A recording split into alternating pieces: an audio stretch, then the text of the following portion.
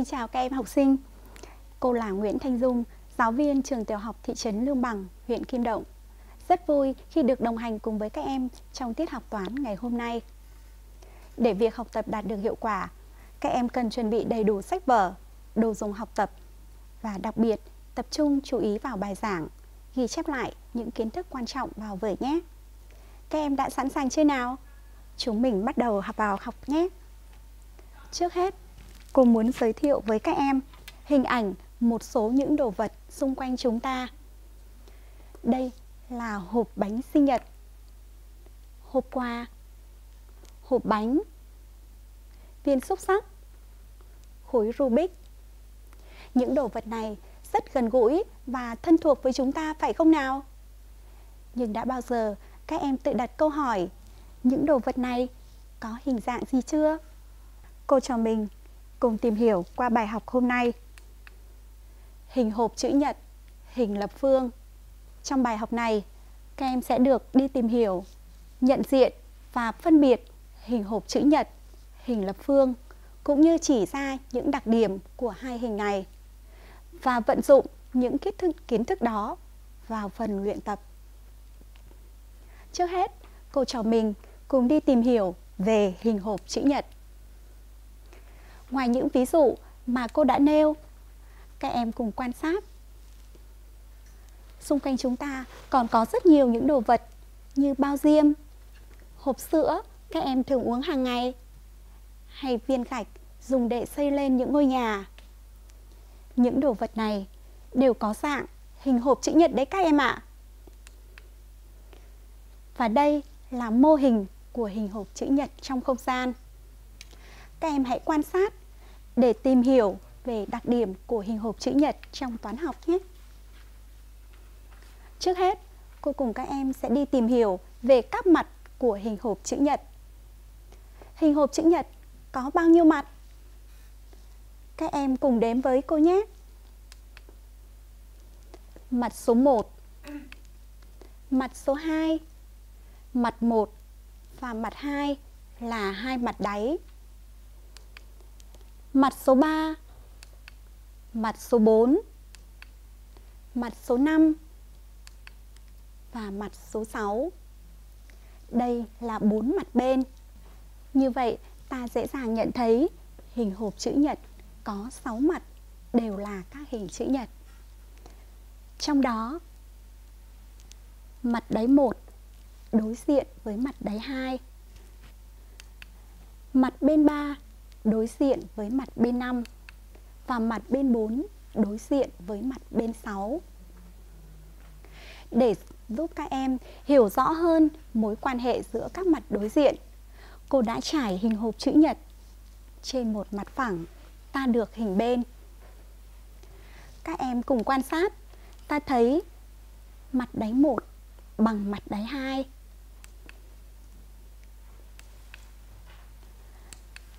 Mặt bên 3 bằng mặt bên 5.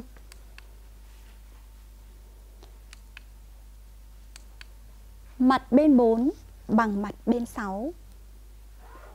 Qua phần tìm hiểu vừa rồi, có thể khẳng định hình hộp chữ nhật có 6 mặt đều là các hình chữ nhật. Các mặt đối diện có kích thước và diện tích bằng nhau. Vậy hình hộp chữ nhật có bao nhiêu đỉnh? Mỗi chấm tròn tương ứng với một đỉnh của hình hộp chữ nhật. Các em hãy cùng đếm với cô xem có bao nhiêu chấm tròn nào. 1 2 3 4 5 6 7 8 Vậy hình hộp chữ nhật có 8 đỉnh. Trong toán học, thông thường chúng ta dùng các chữ cái in hoa để đặt tên cho các đỉnh. Trong hình hộp chữ nhật này, cô đặt tên Đỉnh này là đỉnh A, đỉnh B, đỉnh C, đỉnh D, đỉnh M, đỉnh N, đỉnh P và đỉnh Q. Cô có hình hộp chữ nhật A, B, C, D, M, N, P, Q. Hình hộp chữ nhật có bao nhiêu cạnh? Chúng ta cùng tiếp, cùng tiếp tục tìm hiểu nhé. Bạn nào giỏi, đếm nhanh cùng cô nào. Cạnh thứ nhất là cạnh AB. Cạnh thứ hai là cạnh BC. Cạnh thứ ba là cạnh DC. Cạnh thứ tư là cạnh AD. Cạnh thứ năm là cạnh MN. Cạnh thứ sáu là cạnh NP. Cạnh thứ bảy là cạnh QP. Cạnh thứ 8 là cạnh MQ. Cạnh thứ 9 là cạnh AM. Cạnh thứ 10 là cạnh BN. Cạnh thứ 11 là cạnh CP. Và cạnh thứ 12 là cạnh DQ. Vậy hình hộp chữ nhật có 12 cạnh.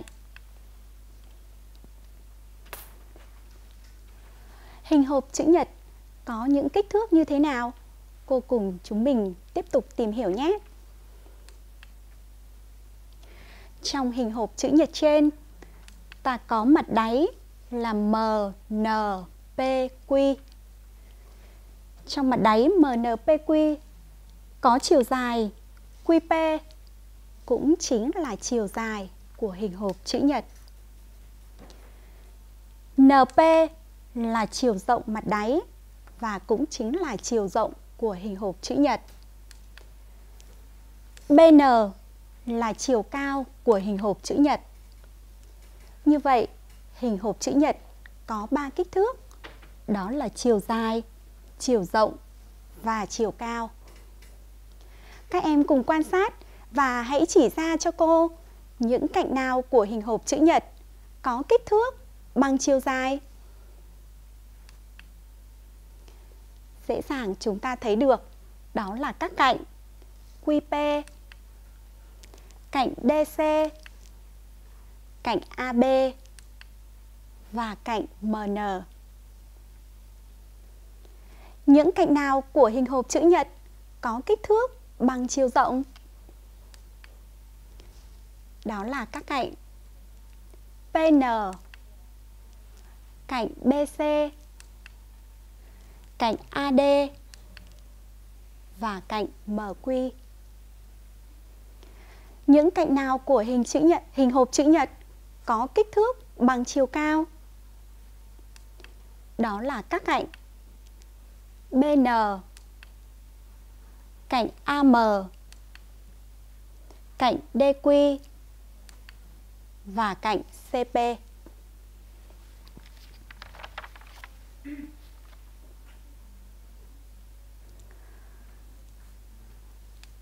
Quan sát hình hộp chữ nhật sau. Các em hãy chỉ ra cho cô ba kích thước của hình hộp chữ nhật thứ hai trên hình vẽ. Trong hình số 2 này, để xác định được ba kích thước của hình hộp chữ nhật, các em cần xác định được đâu là mặt đáy của hình hộp chữ nhật. Ở đây các em sẽ thấy P, N, B, C chính là mặt đáy của hình hộp chữ nhật. Vậy cạnh CB chính là chiều dài. Cạnh BN chính là chiều rộng. Và MN chính là chiều cao của hình hộp chữ nhật. Như vậy, để xác định được ba kích thước của hình hộp chữ nhật, các em cần xác định trước mặt đáy của hình hộp chữ nhật đó nhé.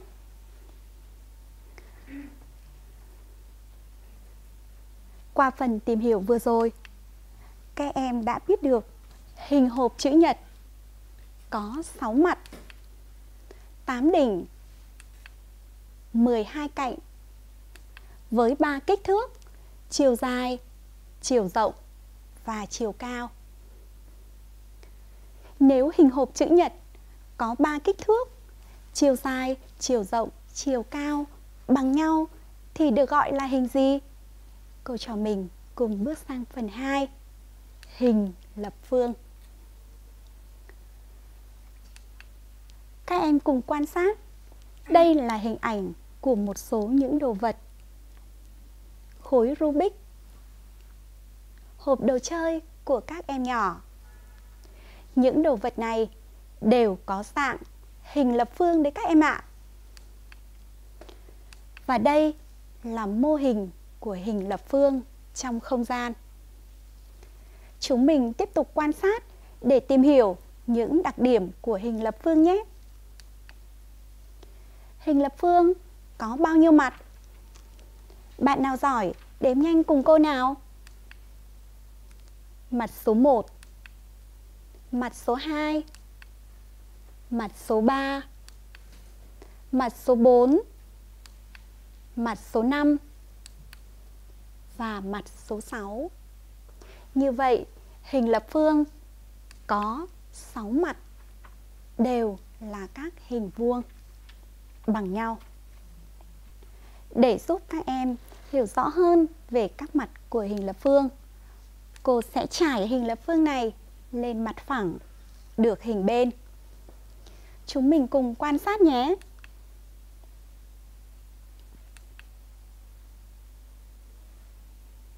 À, các em sẽ thấy sáu mặt của hình lập phương đều là các hình vuông bằng nhau.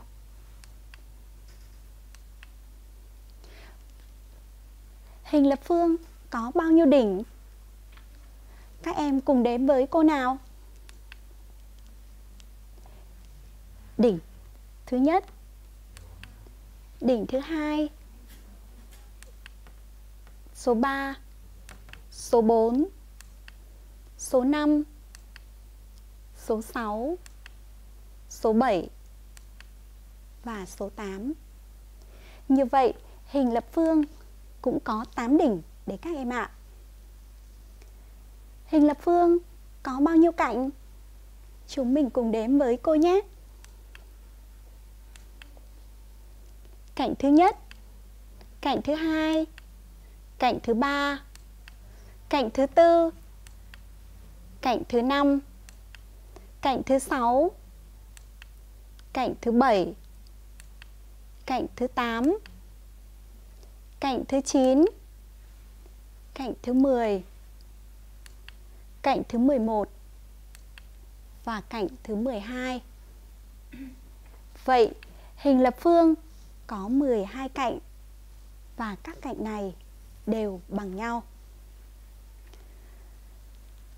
Hình lập phương cũng có 3 kích thước và 3 kích thước của hình lập phương bằng nhau.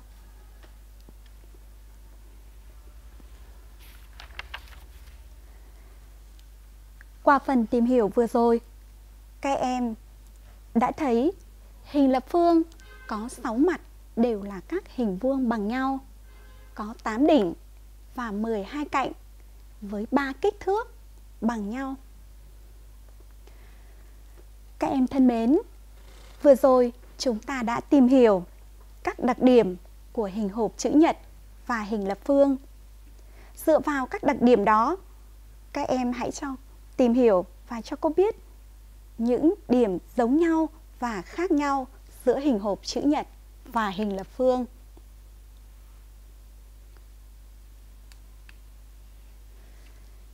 Chắc hẳn các em đã nhận ra được những điểm giống và khác nhau giữa hình hộp chữ nhật và hình lập phương rồi phải không nào? Chúng mình cùng theo dõi và so sánh đối chiếu với kết quả của cô nhé. Hình hộp chữ nhật và hình lập phương giống nhau đều có 6 mặt, 8 đỉnh và 12 cạnh. Vậy điểm khác nhau giữa hình hộp chữ nhật và hình lập phương là gì nào?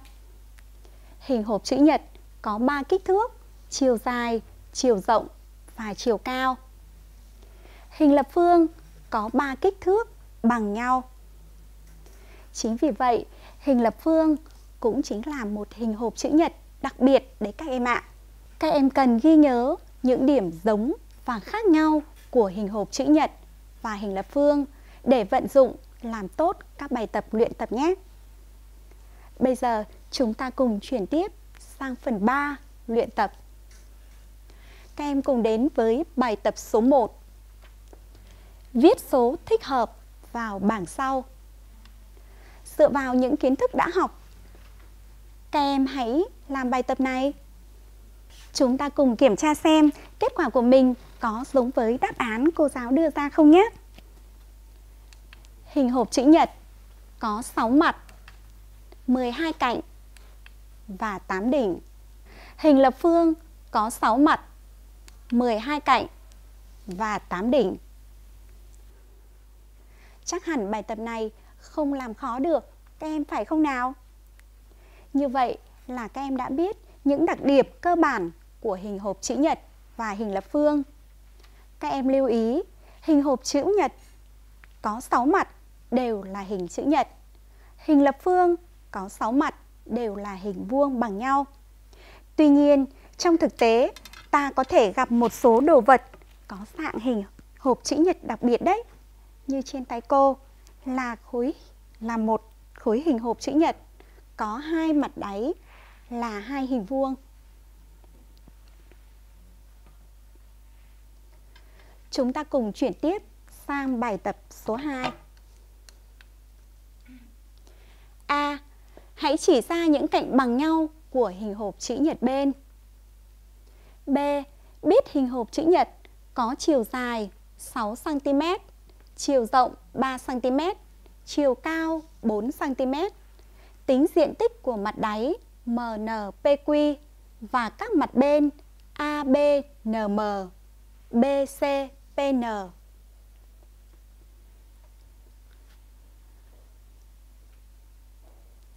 Bài tập này có hai yêu cầu. Chúng mình cùng đi vào phần A nhé. Hãy chỉ ra những cạnh bằng nhau của hình hộp chữ nhật bên. Các em ạ, à, những cạnh bằng nhau của hình hộp chữ nhật bên là cạnh AB bằng cạnh DC bằng cạnh MN bằng cạnh QP và cũng bằng chiều dài của hình hộp chữ nhật.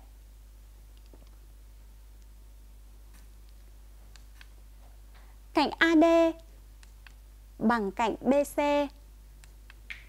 bằng cạnh MQ và bằng cạnh NP và cũng bằng chiều rộng của hình hộp chữ nhật. Cạnh AM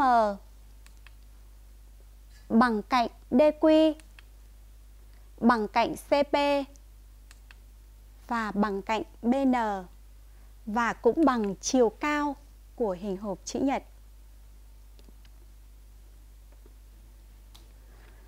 Bây giờ, chúng mình cùng chuyển tiếp sang phần B. Đề bài cho biết các kích thước của hình hộp chữ nhật có chiều dài 6 cm chiều rộng 3 cm và chiều cao 4 cm. Yêu cầu tính diện tích mặt đáy MNPQ. Cô đã đổi màu như hình vẽ trên. Và diện tích các mặt bên ABNM và BCPN. Các em đã nắm được yêu cầu của đề bài và xác định đúng ba mặt cần tính diện tích của hình hộp chữ nhật chưa nào? Cô lưu ý với các em, để thực hiện được yêu cầu này, chúng ta cần dựa vào đặc điểm của hình hộp chữ nhật. Đó là các mặt đều là các hình chữ nhật. Vậy, để tính diện tích một mặt của hình hộp chữ nhật, các em sẽ vận dụng công thức tính diện tích của hình chữ nhật. Dựa vào gợi ý trên, các em cùng làm bài tập. Bây giờ các em cùng đối chiếu với bài làm của cô nhé. Như chúng ta đã biết, để tính diện tích hình chữ nhật, ta lấy số đo chiều dài nhân với số đo chiều rộng cùng một đơn vị đo. Bởi vậy ở đây ta dễ dàng tính được diện tích lần lượt các mặt. Với mặt đáy MNPQ có chiều dài 6 cm và chiều rộng 3 cm. Ta tính được diện tích mặt đáy MNPQ là 6 x 3 bằng 18 cm vuông. Với mặt bên ABNM có chiều dài bằng chiều dài của hình hộp chữ nhật là 6 cm, chiều rộng bằng chiều cao của hình hộp chữ nhật là 4 cm. Ta tính được diện tích mặt bên ABNM là 6 x 4 bằng 24 cm vuông. Tương tự như vậy, với mặt bên BCPN có chiều dài bằng chiều cao của hình hộp chữ nhật là 4 cm. Chiều rộng bằng chiều rộng của hình hộp chữ nhật là 3 cm. Ta tính được diện tích mặt bên BCPN là 4 x 3 bằng 12 cm vuông. Như vậy, các em đã lần lượt tính được diện tích các mặt của hình hộp chữ nhật theo yêu cầu của đề bài rồi. Vậy, các mặt còn lại của hình hộp chữ nhật có diện tích bằng bao nhiêu? Nếu không thực hiện phép tính, các em có thể biết diện tích các mặt đó không? Các em biết, đặc điểm của hình hộp chữ nhật đó là hai mặt đối diện có diện tích bằng nhau. Vì vậy, nếu biết diện tích mặt đáy MNPQ là 18 cm vuông thì diện tích mặt đáy ABCD cũng bằng 18 cm vuông. Tương tự, mặt bên ABNM có diện tích 24 cm vuông thì mặt bên CDQP cũng có diện tích là 24 cm vuông. Tương tự, mặt bên BCPN có diện tích bằng diện tích mặt bên ADQM và bằng 12 cm vuông. Qua bài tập vừa rồi, chúng ta đã được củng cố về đặc điểm của hình hộp chữ nhật và biết cách tính diện tích một mặt của hình hộp chữ nhật. Chúng mình cùng chuyển tiếp sang bài tập số 3. Trong các hình dưới đây, hình nào là hình hộp chữ nhật, hình nào là hình lập phương? Với ba hình A, B, C. Dựa vào những kiến thức các em vừa học, các em hãy chỉ ra những hình nào là hình hộp chữ nhật, hình nào là hình lập phương. Chúng mình cùng suy nghĩ để làm bài tập này nhé. Bây giờ các em cùng đối chiếu với kết quả của cô nào? Hình A là hình hộp chữ nhật vì có 3 kích thước lần lượt là chiều dài 10 cm, chiều rộng 8 cm và chiều cao là 4 cm. Hình C là hình lập phương bởi vì có 3 kích thước bằng nhau và đều bằng 8 cm.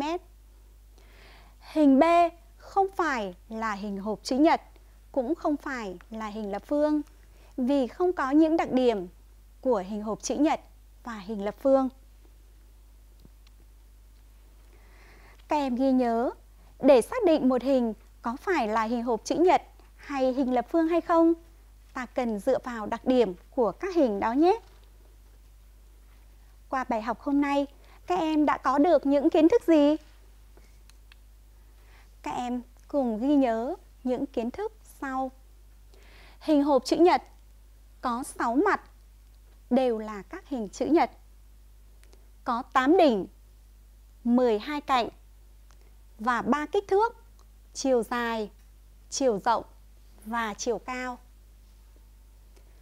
Hình lập phương có 6 mặt đều là các hình vuông bằng nhau. Có 8 đỉnh, 12 cạnh và 3 kích thước bằng nhau. Đây cũng chính là những đặc điểm để chúng ta phân biệt được các những trong thực tế những đồ vật nào có dạng hình hộp chữ nhật, những đồ vật nào có dạng hình lập phương đấy các em ạ. Vậy câu hỏi lúc đầu giờ của chúng ta có thể giải đáp ngay rồi phải không nào? Tủ sách, hộp bánh, hộp bánh sinh nhật. Đây chính là những đồ vật có dạng hình hộp chữ nhật. Hộp quà, viên xúc xắc, khối Rubik là những đồ vật có dạng hình lập phương. Để giúp các em hiểu sâu hơn về bài học hôm nay, cô yêu cầu các em tự luyện theo nội dung sau. Ôn lại các đặc điểm của hình hộp chữ nhật và hình lập phương. Tìm trong thực tế các đồ vật có dạng hình hộp chữ nhật và hình lập phương. Chuẩn bị bài sau, diện tích xung quanh và diện tích toàn phần của hình hộp chữ nhật. Tiết học hôm nay đến đây là kết thúc rồi. Cô thân ái chào tạm biệt các em.